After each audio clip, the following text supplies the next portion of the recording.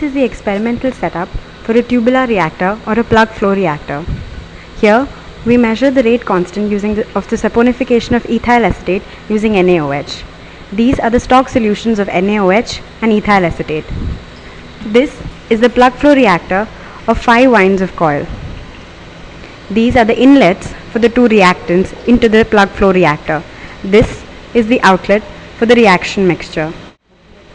This is the flow cell where the conductivity probe is inserted.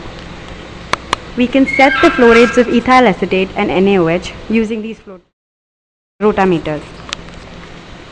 The ethyl acetate flow rate is set and then based on the calculations of the required flow rate of NaOH is set.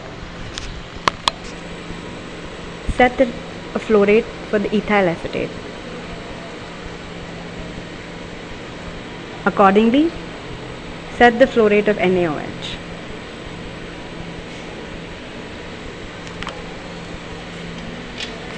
Note down the conductivity reading once it shows a steady value. Repeat the experiment for different flow rates of ethyl acetate.